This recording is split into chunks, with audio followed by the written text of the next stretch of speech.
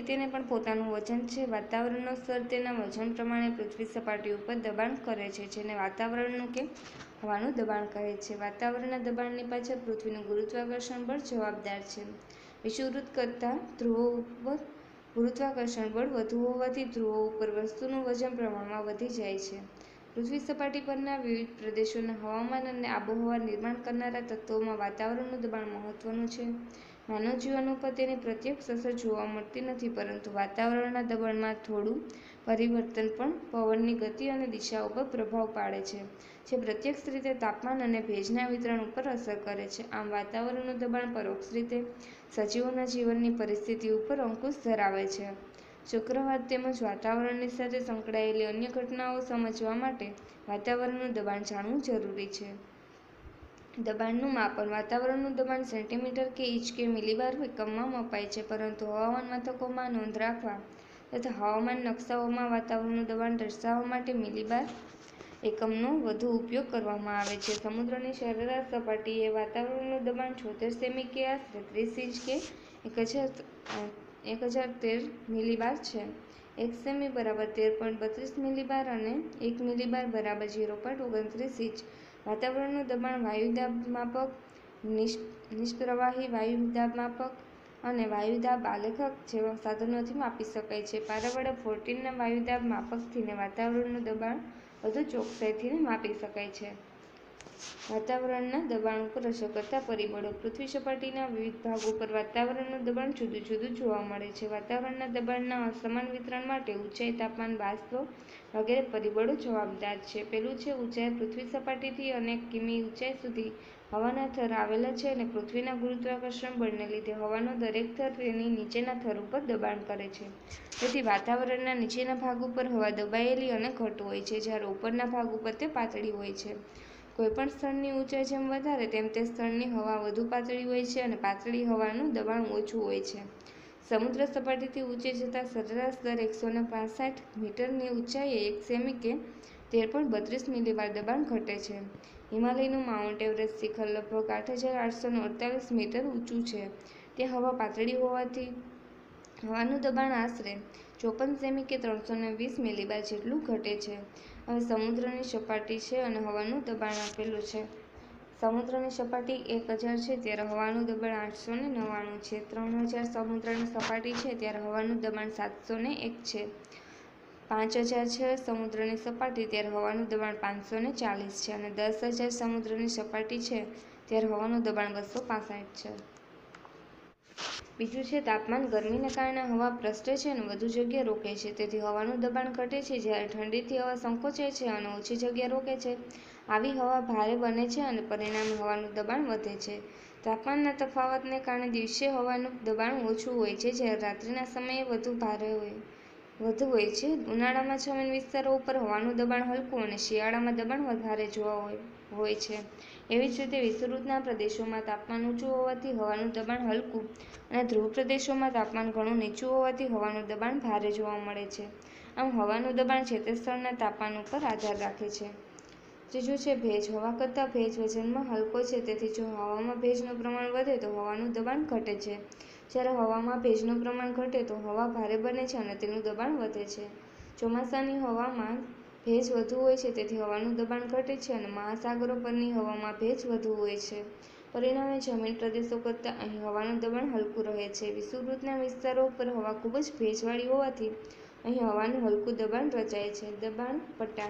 હવાના દબાણમાં ફેરફાર લાવનારા પરિબળોની અસરને લીધે પૃથ્વી સપાટી પરના જુદા જુદા પ્રદેશો ઉપર હલકું કે ભારે દબાણ ઉદ્ભવે છે. હવાના આવા દબાણો પૃથ્વી સપાટીના જો કોઈ ચોક્કસ પ્રદેશ કે વિસ્તાર પૂરતા જ મર્યાદિત હોત તો દબાણ કેન્દ્રો તરીકે ઓળખાય છે. પૃથ્વી સપાટી ઉપર નિર્માણ થતા હવાના હલકા અને ભારે દબાણો તેની શરૂઆતના તબક્કામાં દબાણ કેન્દ્રો રૂપે હોય છે અને પછી અનુકૂળ પરિસ્થિતિ મળતા તેઓ પૂર્વથી પશ્ચિમ વિસ્તરે છે અને હવાના દબાણના પટ્ટા બને છે. આમ દબાણના પટ્ટા લગભગ એક જ અક્ષાંશીય સીમા સીમામાં ગોઠવાયેલા અને એક સરખું દબાણ ધરાવતા કેન્દ્રો જ છે.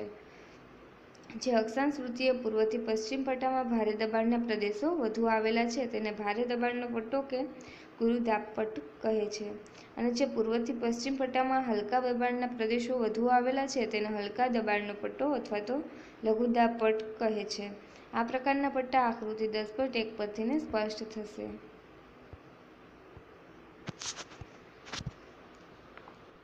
પૃથ્વી સપાટી ઉપર દબાણના કુલ સાત પટ્ટા છે, જે નીચે પ્રમાણે છે. પહેલું છે ઉત્તર ધ્રુવીય ગુરુદાબ પટ્ટ દબાણની માત્રા ભારે છે અને ગોળાર્ધ ઉત્તર ગોળાર્ધમાં છે અને અક્ષાંશીય સ્થાન એંસી અંશથી ઉત્તર અક્ષાંશથી નેવું અંશ ઉત્તર અક્ષાંશ છે. બીજું છે, ઉત્તર ધ્રુવવૃત્તીય લઘુદાબ પટ્ટો તે તેનું દબાણ હલકું છે અને ગોળાર્ધ ઉત્તર ગોળાર્ધમાં આવેલો છે. અક્ષાંશીય સ્થાન સાઠ અંશ ઉત્તર અક્ષાંશથી સિત્તેર અંશ ઉત્તર અક્ષાંશ. ત્રીજું છે, ઉત્તર અયન વૃત્તીય ગુરુદાબ પટ. દબાણની માત્રા ભારે છે ઉત્તર ગોળાર્ધમાં અને વીસ અંશ, ઉત્તર અક્ષાંશથી ત્રીસ અંશ, ઉત્તર અક્ષાંશ. ચોથું છે વિષુવૃત્તીય લઘુદાબ પટ્ટ દબાણની માત્રા હલકું છે અને ગોળાર્ધથી અક્ષાંશીય સ્થાન છે પાંચ અંશ, ઉત્તર અક્ષાંશથી પાંચ અંશ, દક્ષિણ અક્ષાંશ. દક્ષિણ અયન વૃત્તીય ગુરુદાબ પટ્ટ તે છે ભારે દબાણની માત્રા છે. ગોળાર્ધ છે દક્ષિણ ગોળાર્ધમાં અને વીસ અંશ, દક્ષિણ અક્ષાંશથી ત્રીસ અંશ, દક્ષિણ અક્ષાંશ. છઠ્ઠું છે દક્ષિણ ધ્રુવવૃત્તીય લઘુદાપ પટ. દબાણની માત્રા હલકી છે. ગોળાર્ધ દક્ષિણ ગોળાર્ધમાં આવેલું છે. અક્ષાંશીય સ્થાન સાઠ અંશ દક્ષિણ અક્ષાંશથી સિત્તેર દક્ષિણ અક્ષાંશ સાતમું છે, દક્ષિણ ધ્રુવૃત્તીય ગુરુદાબ પટ. દબાણની માત્રા ભારે છે, ગોળાર્ધ દક્ષિણ ગોળાર્ધમાં આવેલો છે, અક્ષાંશીય સ્થાન એંસી અંશ દક્ષિણ તેને નેવું અંશ દક્ષિણ અક્ષાંશ વિષુવૃત્તીય લઘુદાબ પટ. વિષુવૃત્તની આસપાસ પાંચ અંશ ઉત્તર અક્ષાંશથી અને પાંચ અંશ દક્ષિણ અક્ષાંશ ઋતુ વચ્ચેના પ્રદેશોમાં સૂર્યના કિરણો બારેમાસ લગભગ લંબરૂપે પડે છે. તેથી ત્યાં સૂર્યઘાત બારેમાસ વધુ પ્રમાણમાં મળે છે. પરિણામે અહીં હવા એકધારી ગરમ રહે છે. ગરમ હવા વિસ્તૃત થઈ હલકી બને છે અને ઊંચે ચડે છે. તેથી ત્યાં હવાનું દબાણ ઘટે છે. અહીં હવા અતિશય ભેજવાળી હોવાથી પણ દબાણ ઘટે છે. પરિણામે વિષુવવૃત્તની આસપાસના ગરમ અને ભેજવાળી આબોહવાવાળા પૂર્વથી પશ્ચિમ પટ્ટામાં હવાનું હલકું દબાણ ઉત્પન્ન થાય છે. આ પટ્ટાને વિષુવવૃત્તીય લઘુદાપટ પણ કહે છે. આ પટ્ટો ઋતુના ફેરફારો પ્રમાણે જે તે ગોળાર્ધમાં દર્શન અક્ષાંશ સુધી વિસ્તરેલો જોવા મળે છે. આ પટ્ટામાં પવન લગભગ અનુભવાતો નથી, તેથી તેને નિર્વાત વાયુ પ્રદેશ કહે છે. અયન વૃત્તીય ગુરુદાબ પટ પૃથ્વીના બંને ગોળાર્ધમાં લગભગ વીસ અંશથી અને ત્રીસ અંશ અક્ષાંશ ઋતુ વચ્ચેના પ્રદેશોમાં અયન વૃત્તીય ગુરુદાબ પટ તૈયાર થાય છે. વિષુવવૃત્તીય લઘુદાબ પટની પાતળી અને હલકી હવા ઊંચે ચડે છે અને આશરે ત્રણથી સાત કિમીની ઊંચાઈએ પહોંચી પૃથ્વીના ધરીભ્રમણને કારણે બે ભાગમાં વહેંચાઈને ઉત્તર ધ્રુવ અને દક્ષિણ ધ્રુવ તરફ ક્ષેતિજ દિશામાં વહે છે. આ હવાનો કેટલોક જથ્થો બંને ગોળાર્ધમાં આશરે વીસથી ને ત્રીસ અંશ અક્ષાંશો, અક્ષાંશોના વિસ્તારમાં નીચે પૃથ્વીની સપાટી તરફ આવે છે. આ વિસ્તારમાં હવા એકત્રિત થાય છે અને હવાના ભારે દબાણ પટનું નિર્માણ થાય છે. તેને ઉત્તર ગોળાર્ધમાં ઉત્તર અયન વૃત્તીય ગુરુદાપટ અને દક્ષિણ ગોળાર્ધમાં દક્ષિણ અયન વૃત્તીય ગુરુદાપટ કહે છે. ધ્રુવવૃત્તીય લઘુદાબ પટ્ટ પૃથ્વીના બંને ગોળાર્ધમાં ધ્રુવવૃત્તોની પાસે આશરે સાઠથી ને સિત્તેર અક્ષાંશ વૃત્તો વચ્ચેના પ્રદેશો ઉપર ધ્રુવવૃત્તીય લઘુદાબ પટ ઉદ્ભવે છે. તેમના ઉદ્ભવ માટે પૃથ્વીની ધરીભ્રમણ ગતિ જવાબદાર છે. ધ્રુવીય ગુરુદાબ પટ પરથીને ધ્રુવીય પવનો રૂપે આવતી હવા અને અયન વૃત્તીય ગુરુદાબ પટ પરથીને પશ્ચિમીય પવનો રૂપે આવતી હવા ભિન્ન લક્ષણોવાળી છે. તે વિશાળ જથ્થામાં ધ્રુવવૃત્તોની આસપાસ એકઠી થઈ ચક્રવાત રૂપે ઊંચે ચડે છે. આમ હવાના મોટા પાયા પરના સંચરણને કારણે ચક્રવાત રૂપે ઉજ્જવગમન કરતી હોવાથી ધ્રુવવૃત્તોની આસપાસ પૂર્વથી ને પશ્ચિમ વિસ્તરેલા હલકા દબાણપટ્ટનું નિર્માણ થાય છે. તેને ઉત્તર ગોળાર્ધમાં ઉત્તર ધ્રુવવૃત્તીય લઘુદાપટ્ટ અને દક્ષિણ ગોળાર્ધમાં દક્ષિણ ધ્રુવવૃત્તીય લઘુદાબ પટ્ટ કહે છે. ધ્રુવીય ગુરુદાબ પટ્ટ પૃથ્વીની સપાટી પરના બંને ધ્રુવીય પ્રદેશો ઉપર સૂર્યના કિરણો ત્રાસા પડે છે. તેથી ત્યાં તાપમાન ખૂબ નીચું રહે છે. નીચા તાપમાનને કારણે અહીં બાષ્પીભવન થતું નથી. તેથી અહીંની હવામાં ખાસ ભેજ હોતો નહીં. નથી, અહીંના મોટા ભાગના વિસ્તારોમાં બારેમાસ બરફ જોવાયેલો રહે છે. આ બધા કારણોને લીધે ધ્રુવીય પ્રદેશો ઉપર હવાના ભારે દબાણ પટ્ટનું નિર્માણ થાય છે. તેને ઉત્તર ગોળાર્ધમાં ઉત્તર ધ્રુવીય ગુરુદાપટ અને દક્ષિણ ગોળાર્ધમાં દક્ષિણ ધ્રુવીય પટ્ટ કહે છે.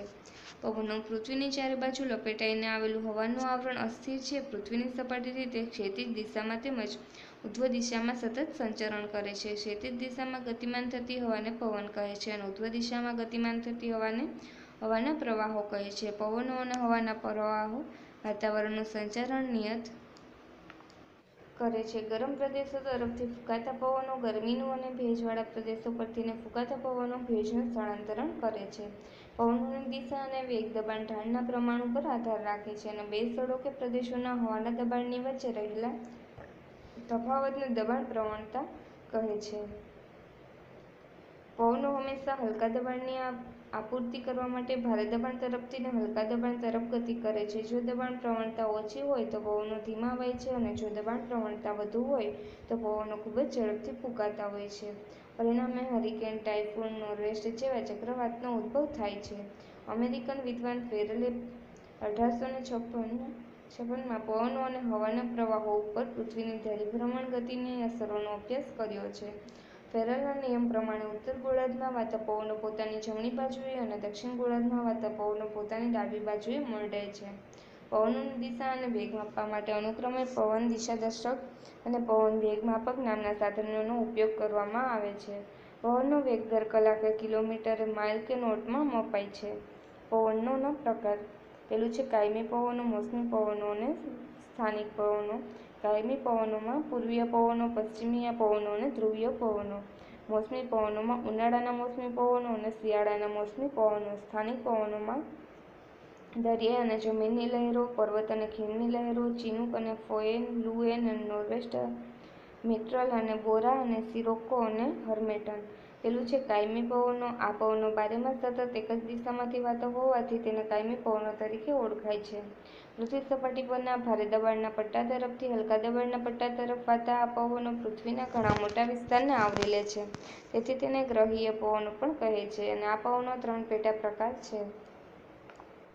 પૂર્વીય પવનો આ પવનો બંને ગોળાર્ધમાં અયમવૃત્તીય ગુરુદાબ પડ તરફથી ને વિષુવૃત્તીય લઘુદાબ પડ તરફ ઉષ્ણકટિબંધમાં વાય છે. પૂર્વીય પવનો એકધારી ગતિએ સતત એક જ દિશામાં વાતા હોય છે અને આ પવનો પૃથ્વીની ધરીભ્રમણ ગતિને લીધે થોડા મરડાઈને પૂર્વ દિશામાંથી ને વાતા હોય છે. તેથી આ પવનોને પૂર્વીય પવનો કહે છે. તેઓ સ્થિર ગતિએ વાતા હોવાથી ભૂતકાળમાં દરિયાઈ માર્ગે થતા વેપાર માટે આ પવનોનો લાભ લેવામાં આવતો હતો. તેથી તેઓ વ્યાપારી પવનો તરીકે પણ ઓળખાય છે. ફેરલના નિયમ મુજબ આ પવનો ઉત્તર ગોળાર્ધમાં પોતાની જમણી તરફ ફંટાય છે. તે દિશા ઈશાન ખૂણેથી ને ઉત્તર પૂર્વ દિશાથી આવતા જોવા મળે છે. તેથી તેમને ઈશાન કોણે વ્યાપારી પવનો કહે છે. દક્ષિણ ગોળાર્ધમાં તે અગ્નિ ખૂણેથી એટલે કે દક્ષિણ અને પૂર્વ દિશામાંથીને વાતા કારણે અગ્નિકોણી વ્યાપારી પવનો તરીકે ઓળખાય છે. આ પવનો ગરમ પ્રદેશ તરફ આવતા હોવાથી ગરમ બને છે. માટે તેમાં ભેજ સંગ્રહ કરવાની શક્તિ વધે છે, પરંતુ વરસાદ આપવાની શક્તિ ઘટે છે. પશ્ચિમીય પવનો. આ પવનો બંને ગોળાર્ધમાં અયનવૃત્તીય ગુરુદાબ પટ તરફથી ને ધ્રુવવૃત્તીય લઘુદાબ પટ તરફ સમશીતોષ્ણ કટિબંધના પ્રદેશોમાં વાય છે. આ પવનો થોડા મળે ને પશ્ચિમ તરફથી ને આવતા જણાય છે. તેથી તે પશ્ચિમીય પવનો તરીકે પણ ઓળખાય છે. આ પવનો ઉત્તર ગોળાર્ધના દક્ષિણ અને પશ્ચિમથી ને ઉત્તર પૂર્વ અને દક્ષિણ ગોળાર્ધમાં ઉત્તર અને પશ્ચિમથી દક્ષિણ પૂર્વ તરફ વાય છે. તેથી ઉત્તર ગોળાર્ધમાં તેને નૈઋત્ય કોણીય પશ્ચિમીય પવનો અને દક્ષિણ ગોળાર્ધમાં તેને વાયવ્ય કોણી પશ્ચિમીય પવનો કહે છે. પશ્ચિમીય પવનોની દિશા વ્યાપારી પવનોની દિશા કરતાં વિરુદ્ધ હોવાથી તેને પ્રતિવ્યાપારી પવનો પણ કહે છે. આ પવનો ગરમ પ્રદેશો તરફથી ઠંડા પ્રદેશો તરફ વાતા હોવાથી ઠંડા પડે છે અને ખંડોના પશ્ચિમ કિનારે આવેલા યુરોપ, કેનેડા, ચીલી વગેરેના પશ્ચિમ વિસ્તારોમાં બારેમાસ વરસાદ આપે છે. દક્ષિણ ગોળાર્ધ જળ ગોળાર્ધ છે. દક્ષિણ ગોળાર્ધના ચાલીસ અંશ, દક્ષિણ અક્ષાંશથી ને એંસી અંશ, દક્ષિણ અક્ષાંશના વિસ્તારોમાં જમીન ખંડોનો લગભગ કોઈ અવરોધ ન હોવાથી પવનો પ્રતિકાર પ્રતિકાર વગર તીવ્ર વેગથી ને સુસવાટા મારતા વાય છે. આ પવનોના અતિવેગથી ઉત્પન્ન થતા અવાજની તીવ્રતાના આધારે અહીંના નાવિકો પશ્ચિમીય પવનને ચાલીસ અંશ, દક્ષિણ અક્ષાંશ ઉપર ગજતા ચાલીસ અને પચાસ અંશ, દક્ષિણ અક્ષાંશ ઉપર પ્રચંડ પચાસા અને સાઠ અંશ, દક્ષિણ અક્ષાંશ પર ચિતકારતા સાઠા ના નામથી ઓળખે છે. ધ્રુવીય પવનો, આ પવનો બંને ગોળાર્ધમાં ધ્રુવવૃત્તીય ગુરુદાબ પડ તરફથી ધ્રુવવૃત્તીય લઘુદાબ પડ તરફ વાય છે. આમ ધ્રુવો પરથીને વાર્તા આ પવનો ધ્રુવવૃત્તીય, ધ્રુવીય પવનો તરીકે ઓળખાય છે. ધ્રુવીય પવનો ઉત્તર ગોળાર્ધમાં ઉત્તર પૂર્વથીને દક્ષિણ અને પશ્ચિમ અને દક્ષિણ ગોળાર્ધમાં દક્ષિણ અને પૂર્વથી ને ઉત્તર અને પશ્ચિમ તરફ વહે છે. ધ્રુવો તરફથીને આવતા પવનો અતિશય ઠંડા હોય છે. પરિણામે જે પ્રદેશો પરથીને તે પસાર થાય છે ત્યાં ઠંડીનું મોજું ફરી વળે છે અને આ ઠંડા પવનોમાં ભેજ ધારણ કરવાની ક્ષમતા ખાસ નથી. તેથી આ પવનો વૃષ્ટિ આપતા નથી. ધ્રુવો તરફથીને આવતા ઠંડા પવનોનો સમશીતોષ્ણ કટિબંધના પ્રમાણમાં ગરમ પવનો સાથે સંગમ થાય છે, ત્યારે અહીં ચક્રવાત અને પ્રતિચક્રવાતની પરિસ્થિતિનું નિર્માણ થાય છે. બીજું છે મોસમી પવનો. પૃથ્વી સપાટીના કેટલાક પ્રદેશોમાં પવનોની દિશા ઋતુ પ્રમાણે બદલાય છે. આમ, ઋતુ પ્રમાણે દિશા બદલાતા પવનોને મોસમી પવનો કહે છે. ભારત, પાકિસ્તાન, બાંગ્લાદેશ, મ્યાનમાર, શ્રીલંકા, ચીન, કોરિયા, જાપાન, તાઇવાન વગેરે મોસમી પવનો અનુભવતા મુખ્ય દેશો છે અને આ સિવાય ઉત્તર ઓસ્ટ્રેલિયા માડાસ્કાસ્કર નાઇજીરિયા ઘાના અને યુએસનો દક્ષિણ ભાગ પણ મોસમી પવનોની થોડી અસર અનુભવે છે. મોસમી પવનોને બે ભાગમાં વહેંચી શકાય છે. પેલું છે ઉનાળાના મોસમી પવનો. ઉનાળામાં એશિયાના ઉત્તર પશ્ચિમ જમીન વિસ્તારો ઉપર ઊંચા તાપમાનને કારણે અહીં હલકું દબાણ સર્જાય છે. આ વિસ્તારોની નજીકમાં આવેલા અરબ સાગર બંગાળાની ખાડીના અને હિંદ મહાસાગરના જળ વિસ્તારો ઉપર નીચા તાપમાનને કારણે હવાનું ભારે દબાણ સર્જાય છે. આવી પરિસ્થિતિમાં દબાણનું સંતુલન જાળવી રાખવા માટે વિષુવવૃત્તની દક્ષિણેથી અગ્નિકોણીય વ્યાપારી પવનો ઉત્તર તરફ આગળ વધે છે. વિષુવવૃત્તને ઓળંગીને આ પવનો દિશા બદલે છે અને તે નૈઋત્યકોણીય મોસમી પવનો બને છે. આ પવનો ઉનાળાના મોસમી પવનો તરીકે ઓળખાય છે. આ પવનો વિશાળ જલરાશિ પરથીને વાતા હોવાથી ભેજથીને ભરપૂર હોય છે, તેથી આ પવનો સાગર કિનારાની નજીકના પ્રદેશોમાં વધુ વૃષ્ટિ આપે છે અને આ પવનોના માર્ગમાં અવરોધક બનતા ઊંચા પહાડી પ્રદેશોની પવનના પવનાભિમુખ બાજુએ ભારે વૃષ્ટિ પડે છે, જેમ કે પશ્ચિમ ઘાટને કારણે ભારતના પશ્ચિમ કિનારે મલબારમાં બસો સેમીથી વધુ વૃષ્ટિ થાય છે. શિયાળાના મોસમી પવનો શિયાળામાં એશિયા ખંડના કેટલાક જમીન વિસ્તારો ઝડપથીને ઠંડા પડે છે. તેથી આ વિસ્તારોમાં હવાના ભારે દબાણ કેન્દ્રો રચાય છે. આ સમયે તેની નજીકમાં આવેલી જળરાશિઓ પ્રમાણમાં હુંફાળી હોય છે. આથી અહીં હલકા દબાણ કેન્દ્રો રચાય છે. પરિણામે શિયાળામાં જમીન વિસ્તારો પરથીને સમુદ્ર વિસ્તારો તરફ પવનો વાય છે. આ પવનો દક્ષિણ અને દક્ષિણ પૂર્વ એશિયાના દેશોમાં ઈશાન ખૂણેથીને ઉત્તર પૂર્વીય દિશાએથી આવે છે. તેથી તેઓ ઈશાન કોણીય મોસમી પવનો કહેવાય છે. આ પવનો જમીન વિસ્તારો પરથી વાગતા હોવાથી તેમનામાં ભેજ ઘણો ઓછો હોય છે. આથી તેઓ ખાસ વૃષ્ટિ આપતા નથી, પરંતુ ઈશાન કોણીય મોસમી પવનોના કેટલાક ફાટાઓ સમુદ્ર પરથીને પસાર થાય છે અને ત્યારે ભેજવાળા બની અને વૃષ્ટિ આપે છે. જેમ કે ભારતના પૂર્વ કિનારે કોરોમાંડલમાં અને શ્રીલંકાના ઉત્તરના વિસ્તારોમાં ડિસેમ્બર અને જાન્યુઆરીના સમયગાળામાં બંગાળાની ખાડી પરથી પસાર થતા ઈશાન કોણીય મોસમી પવનો વર્ષની મોટાભાગની વૃષ્ટિ આપે છે. મોસમી પવનો દ્વારા પડતી વૃષ્ટિ અનિયમિત અને અનિશ્ચિત છે અને વર્ષાઋતુ ક્યારેક વહેલી શરૂ થઈ જાય છે અને વહેલી પૂરી થઈ જાય છે, તો ક્યારેક કે મોટેથીને શરૂ થાય છે. મોડેથી શરૂ થાય છે અને વહેલી પૂરી થાય છે. મોસમી પવનો ક્યારેક અતિવૃષ્ટિ સર્જે છે, તો ક્યારેક અનાવૃષ્ટિ સર્જે છે, એટલે જ આ વિસ્તારના ખેડૂતોને પ્રારંભવાદી કહે છે અને ભારતમાં વરસાદની અનિશ્ચિત પરિસ્થિતિ માટે મોસમી પવનો જવાબદાર છે. સ્થાનિક પવનો કેટલાક સીમિત પ્રદેશ પર વાતા મર્યાદિત સ્વરૂપના પવનોને સ્થાનિક પવનો કહે છે. આ પવનો સ્થાનિક પ્રદેશની વિશિષ્ટ પરિસ્થિતિ કે પરિબળોને લીધે ઉત્પન્ન થતા હોય છે. અસમાન ભૂપૃષ્ઠ જમીન અને પાણીની સમીપતા પાણીની અને જમીનની અસમાન રીતે ગરમ અને ઠંડા થવાની પ્રક્રિયા વગેરેને લીધે સ્થાનિક પવનો ઉદ્ભવે છે. આ પવનોની અસર તેઓના સ્થાનિક પ્રદેશો પૂરતી જ મર્યાદિત રહે છે. સ્થાનિક પવનોના પેટા પ્રકારોની માહિતી આ પ્રમાણે છે. દરિયાઈ અને જમીનની લહેરો, દરિયાઈ લહેરો. દિવસે સમુદ્ર વિસ્તારો કરતાં જમીન વિસ્તારો વધુ ઝડપથી ગરમ થાય છે. તેથી જમીન વિસ્તારો પર હલકું દબાણ અને સમુદ્ર વિસ્તારો ઉપર ભારે દબાણ રચાય છે. જમીન વિસ્તારો પરના હલકા દબાણની આપૂર્તિ કરવા માટે દેશીય પવનો સમુદ્ર વિસ્તારો તરફથી જમીન વિસ્તારો તરફ વાય છે, જેને દરિયાઈ લહેરો કહે છે. દરિયાઈ લહેરોને લીધે સમુદ્ર કિનારાની નજીકના પ્રદેશોનું તાપમાન પાંચ અંશથી સાત અંશ જેટલું નીચું રહે છે. આથી ઉનાળામાં સમુદ્ર કિનારાની પાસેના વિસ્તારો પર ખંડીય વિસ્તારો કરતાં ગરમી ઘણી ઓછી લાગે છે. એટલે કે અહીં સમઘાત આબોહવા અનુભવાય છે. જમીનની લહેરો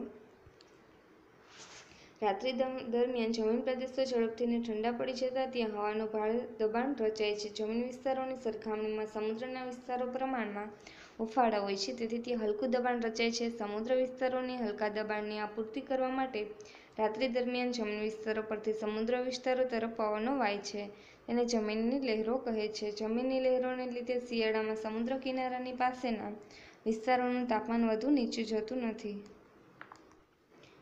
પર્વત અને ખીણની લહેરો. આ પવનો પર્વત અને ખીણની વચ્ચે તાપમાન અને દબાણની અસમાનતાને કારણે ઉત્પન્ન થાય છે. દિવસે ખીણના વિસ્તારો કરતાં પવનના ઢોળાવો ઝડપથી ગરમ થાય છે. આથી ઢોળાવો પરની ગરમ હવા હલકી બની ઊંચે ચડે છે. એની ખાલી જગ્યા લેવા ખીણની હવા પર્વતના ઢોળાવો તરફ ઘસી આવે છે. આમ ખીણમાંથી પર્વતના ઢોળાવો તરફ હવાના પ્રવાહો દિવસ દરમિયાન વાતા હોય છે, જેને ખીણની લહેરો કહે છે. આનાથીને વિરુદ્ધ રાત્રે પવનોના શિખરો અને ઢોળાવ ઝડપથી ઠંડા પડે છે જ્યારે ખીણના વિસ્તારો પ્રમાણમાં હુફાળા હોય છે. પરિણામે રાત્રિ દરમિયાન પર્વત તરફથી ખીણ તરફ હવાના પ્રવાહો વહે છે જેને પર્વતની લહેરો કહે છે. આ લહેરો ઘણીવાર ખીણમાં ધુમ્મસ પેદા કરે છે. ચીનુક અને ફોએન ઉત્તર અમેરિકામાં પેસિફિક મહાસાગર પરથી આવતા ગરમ અને સૂકા પવનો ઠંડીની ઋતુમાં રોકીસ પર્વતના પૂર્વના ઢોળાવો પરથી નીચે ઉતરે છે અને પ્રેરિસનું મેદાનનું તાપમાન બે કલાકમાં પંદરથી ને પચીસ અંશ સેલ્સિયસ સુધી સુધી વધારી દે છે. આ ગરમ પવનથી પ્રેરિસના મેદાનોમાં રહેલો બરફ પીગળે છે. આથી રોકીસ પર્વતની પૂર્વમાં રહેતા ખેડૂતો અને પશુપાલકોને ખેતી માટે જમીન અને પશુઓ માટે ઘાસ પ્રાપ્ત થાય છે. અહીંના લોકો ઠંડીમાંથી રાહત અનુભવે છે. આવી વિશેષતાને કારણે રેડ ઇન્ડિયન્સ આ પવનને ચૂનુક કહે ચીનુક કહે છે. તેનો અર્થ થાય છે બરફભક્ષી પવનો. ફોએન ચીનુક પવનોની જેમ સૂકા, ગરમ અને તોફાની પવનો છે, તે દક્ષિણ દિશાથી આલ્પસ પર્વતને ઓળંગીને યુરોપ કે સ્વિટ્ઝરલેન્ડના મેદાની પ્રદેશો તરફ વહે છે. ત્યાં તે ફેવોન તરીકે ઓળખાય છે. પર્વતના ઢાળ પરથી ઉતરતી વખતે આ પવનો ઘર્ષણને કારણે વધુ ગરમ બને છે અને પોતાની ગરમીથી બરફને પીગળાવે છે. આથી અહીં પશુપાલન પ્રવૃત્તિ કરી શકાય છે અને આ ગરમ પવનોની અસરને લીધે દ્રાક્ષ, મોસંબી જેવા ખાટા રસવાળા ફળોની ખેતીને લાભ થાય છે. જાણવું ગમશે, ચિનુક માટે ચોવીસ કલાકમાં બાવીસ અંશ સેલ્સિયસ તાપમાન વધતું સામાન્ય, વધુ સામાન્ય બાબત છે. અમેરિકાના મોન્ટાના રાજ્યમાં આવેલ કીપ નામના સ્થળે માત્ર સાત મિનિટમાં ઓગણીસ અંશ સેલ્સિયસ તાપમાન વધ્યું હતું. આ જ રીતે આલ્બર્ટા રાજ્યમાં આવેલા પિન્ચર ક્રીકમાં છ જાન્યુઆરી ઓગણીસો ને છાસઠના દિવસે ચાર મિનિટમાં એકવીસ પોઈન્ટ ત્રણ અંશ સેલ્સિયસ તાપમાન વધ્યું હતું. લૂ અને નોર્વેસ્ટર. ઉત્તર ભારત અને વાયવ્ય ભારતના મેદાની પ્રદેશોમાં મે અને જૂનમાં બપોર પછી પશ્ચિમ દિશાએથી આવતા ગરમ અને સૂકા પવનોને લૂ કહે લૂ તરીકે ઓળખવામાં આવે છે. એનાથીને ઉત્તર ભારતનું તાપમાન પચાસ અંશ સેલ્સિયસ સુધી પહોંચી જાય છે અને આ વિસ્તારોમાં લૂની અસરથીને ઘણીવાર માનવી અને પશુ પક્ષીઓ મૃત્યુ પામે છે. બે હજાર પંદરના મે અને જૂન મહિનામાં આંધ્રપ્રદેશ, તેલંગાણા અને ઓડિશા વગેરે રાજ્યોમાં એક હજારથી વધુ માણસો લૂને કારણે મૃત્યુ પામ્યા હતા. આ જ પ્રમાણે ચોમાસું શરૂ થાય તે પહેલાં પશ્ચિમ બંગાળ તરફ પર વાયવ્ય દિશાએથીને ધૂળની ડમરીઓ સાથે ગરમ અને સૂકા પવનો વેગથીને ઘસી જાય છે. તે નોર્વેસ્ટર તરીકે જાણીતા છે. વિશાખ મહિનામાં આવતા પવનો જાનમાલને ભયંકર હાનિ કરે છે. તેથી તે કાળ વૈશાખી તરીકે પણ ઓળખાય છે.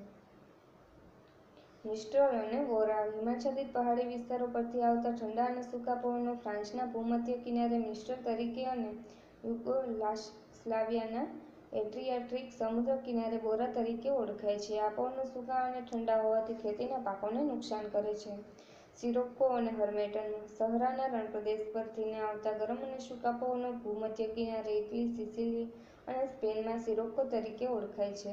ભૂમધ્ય સાગર ઉપર થઈ અને આવતા પવનો ભેજવાળા બનવાથી ઉપરના વિસ્તારોમાં ધૂળસભર વૃષ્ટિ થાય છે. સહરાના રણપ્રદેશ પરથીને દક્ષિણ ગિનીના આખાત તરફ વાતા ગરમ સૂકા અને ધૂળભર્યા પવનો હર્મેટન તરીકે ઓળખાય છે. ગિનીના વિસ્તારમાં રહેતા લોકો ગરમ અને ભેજવાળા પવનોથી ત્રાસીને બીમાર પડે છે. એ સમયમાં હર્મેટન પવનોથી અહીંના લોકોને રાહત મળે છે. તેથી સ્થાનિક ભાષામાં લોકો આ સુખદ અને સ્વાસ્થ્ય પવનને હર્મેટન એટલે કે ડોક્ટર વિન્ડ નામથી ઓળખે છે. વાયુ સમુચ્ચય વાયુ સમુચ્ચય વાયુમંડળનો એક વિશાળ ભાગ છે, જેમાં તાપમાન તથા ભેજ સંબંધી વિશેષતાઓ ક્ષૈતિજ દિશાઓમાં સમાન હોય છે. તાપમાન અને ભેજમાં સમાનતા ધરાવતા વાયુના વિશાળ જથ્થાને વાયુ સમુચ્ચય કે વાયુરાશિ કહે છે. એમાં વિવિધ ઊંચાઈએ ક્ષૈતિજ દિશામાં તાપમાન અને ભેજનું પ્રમાણ લગભગ સરખું હોય છે. સમતલ વિશાળ સપાટી ઉપર હવા લાંબા સમય સુધી સ્થિર રહેવાથી તે સપાટીની ગરમી, ઠંડી અને ભેજ પ્રાપ્ત કરે છે.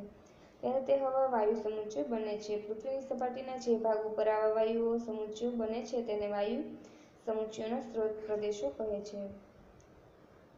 તેના લક્ષણો છે. એક વાયુ સમુચ્ચય સેંકડો કિમી સુધી ફેલાઈ શકે છે. ઘણીવાર એક મોટા ખંડ જેટલો વિશાળ વિસ્તાર ધરાવે છે.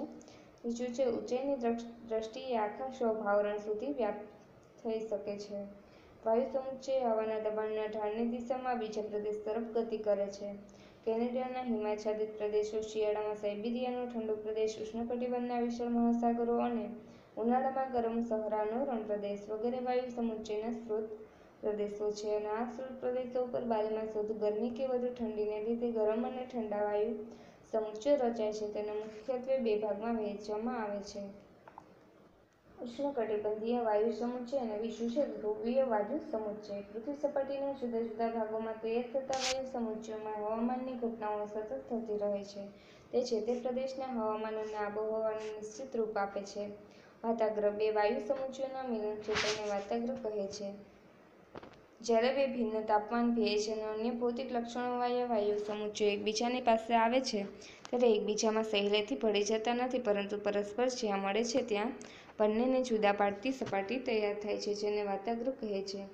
વાતાગ્રહ એ હવાનો પાંચથી એંસી કિમી પહોળો વિસ્તાર છે અને વાતાગ્રહની ઢાળવાળી સપાટી પરની ગરમ વાયુ સમુચ્ચયની હવા, ઠંડા વાયુ સમુચ્ચયની ઉપર વાતાવરણમાં ધકેલાય છે. તે હવા ઊંચે ચડતા એમાં રહેલા ભેજનું ઘનીભવન થઈ અને વાદળો બને છે અને વૃષ્ટિ થાય છે અને વાતાગ્રહ પાસે હવાનું દબાણ ઘટી જવાથી તોફાની હવામાનનો વિસ્તાર બને છે. પૃથ્વી સપાટી પરના ચક્રવાતો વાતાગ્રહના વિસ્તારમાં ઉદ્ભવે છે. આમ પ્રદેશોના હવામાન અને આબોહવાના નિર્ધારણમાં વાતાગ્રહનું ઘણું મહત્વ છે. વાતાગ્રહ મુખ્યત્વે બે પ્રકારના છે. પહેલું છે ઉષ્ણ વાતાગ્રહ અને બીજું છે શીત એટલે કે ઠંડુ વાતાગ્રહ ઉષ્ણ વાતાગ્રહની સપાટી ધીમા ઢાળવાળી રહે છે, જ્યારે શીત વાતાગ્રહની સપાટી ગોળાકાર બને છે.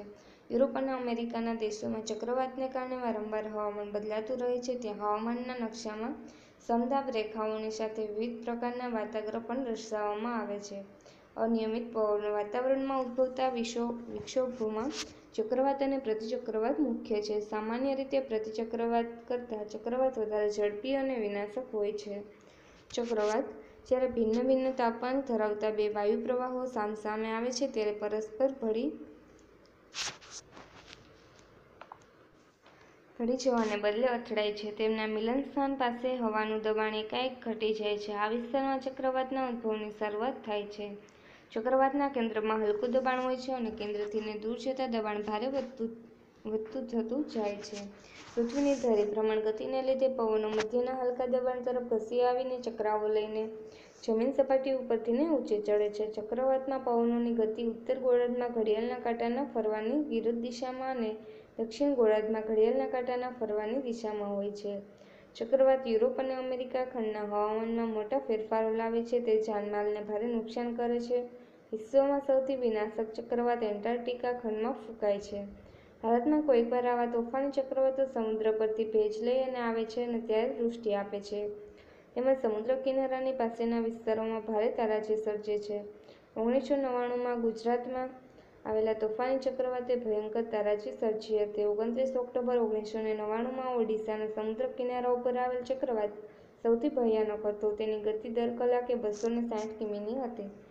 ચક્રવાત વિશ્વના દેશોમાં જુદા જુદા નામથી ઓળખાય છે, જેમ કે વેસ્ટ ઇન્ડિયન્સ, મેક્સિકો, અખાતમાં અને હરિકેન, જાપાન અને ફિલિપિન્સમાં ટાઇફૂન, યુએસમાં ટોર્નેડો અને ઓસ્ટ્રેલિયામાં વિલીવિલીઝ તરીકે ઓળખાય છે. પ્રતિચક્રવાત પ્રતિચક્રવાતમાં મધ્યમાં ભારે દબાણ અને તેની આસપાસના વિસ્તારમાં હલકું દબાણ હોય છે. પવનો મધ્યના ભારે દબાણમાંથી બહારના હલકા દબાણ તરફ આવતા ફેલાઈ જાય છે.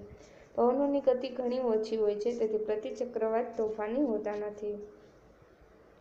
પ્રતિચક્રવાતમાં પવનોની ઘૂમવાની ગતિ ઉત્તર ગોળાર્ધમાં ઘડિયાળના કાંટાની ફરવાની દિશામાં અને દક્ષિણ ગોળાર્ધમાં ઘડિયાળના કાંટાના ફરવાની વિરોધ દિશામાં હોય છે. પ્રતિચક્રવાતમાં પવન ઉપરથી નીચે ઉતરે છે, તેથી તાપમાનમાં વધારો થાય છે. પરિણામે આ પવનો વૃષ્ટિ લાવી શકતા નથી. જ્યારે પ્રતિચક્રવાત સમુદ્ર ઉપર થઈ અને પસાર થાય છે, ત્યારે થોડીક વૃષ્ટિ થાય છે. વર્તમાન સમયમાં રડાર તેમજ કૃત્રિમ ઉપગ્રહની મદદથી ચક્રવાતો અને પ્રતિચક્રવાતોનું પૂર્વાનુમાન કરી શકાય છે. ટીવી, રેડિયો અને સમાચારપત્રો દ્વારા લોકોને તેની અગાઉથી જાણકારી આપી અને સાવચેતીના આગોતરા પગલાં લઈ શકાય છે. તો આ હતું ધોરણ અગિયાર, ભૂગોળ જોતા રહો એજ્યુકેશન ઇન ગુજરાતી ચેનલ શીખતા રહો. થેન્ક યુ આભાર.